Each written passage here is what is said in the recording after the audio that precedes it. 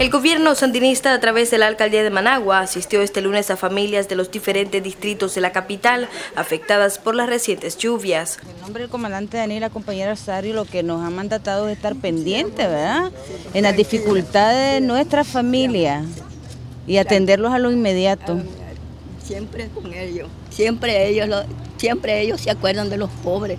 En que él esté allá, él está dormido, está pensando cómo estamos mi gente, cómo están mis mis viejitas y todo, él siempre, con la comida, con todo, se preocupa él. En total fueron 10 barrios, fueron 29 casas negadas, como todos sabemos, solo 145 hermanos y hermanas afectadas y dos casas a punto de colapsar. La comuna dispuso de un fondo de emergencia social para construir viviendas solidarias para las familias más vulnerables de estos barrios. Le damos gracias a él todo lo que está haciendo y que seguimos adelante con él, porque pues él, él ha hecho la obra que ni un presidente pues lo había hecho.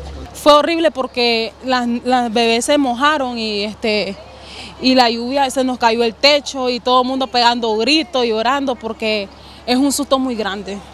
Y este, yo le doy gracias a Dios y al gobierno pues porque nos ha este, sabido responder. Tras realizar un recorrido por las viviendas afectadas y puntos críticos, la secretaria general del Consejo Municipal de Managua, compañera Reina Rueda, destacó el apoyo humanitario de los gabinetes de la familia y la juventud. Y esta es parte de la atención, le vamos a brindar lo que es este, eh, la construcción de su casita, que dura como todos sabemos máximo una semana, va a estar lista ya, ella va a estar segura ya en un, en un lugar digno y esta es parte pues, de, la atención permanente que tenemos para la familia nosotros, de, acudir.